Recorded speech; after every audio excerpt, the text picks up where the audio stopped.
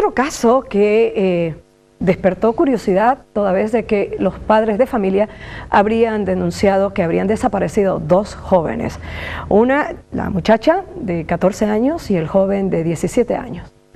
Según las investigaciones, arrojan que eh, estos jóvenes habrían estado durante dos días en diferentes moteles.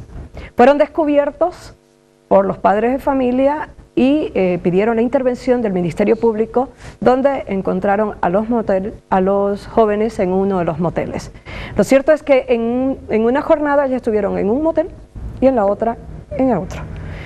Por tanto, eh, fue convocada la propietaria de este motel a declarar por corrupción de menores. El día martes denuncia Ingrid Medina Sánchez la desaparición de su hija menor de 14 años de edad.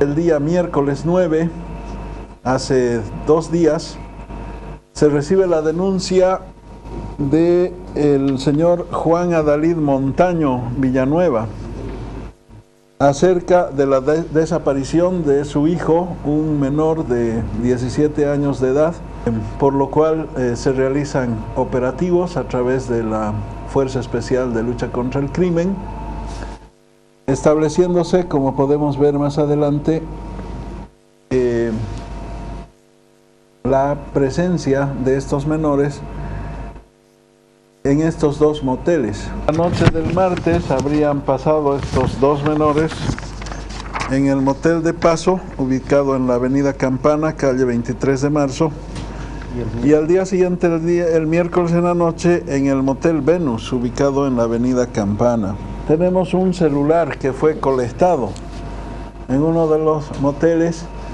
pues eh, ha servido como objeto de, de pago. Se ha procedido a la detención de la señora Dayana Centeno Terán, eh, que es eh, propietaria del motel El Paso. El Ministerio Público ha hecho una tipificación de corrupción de menores puesto que eh, estos menores de edad, ¿no es cierto?, han pasado la noche en estos moteles sin ningún tipo de, de control.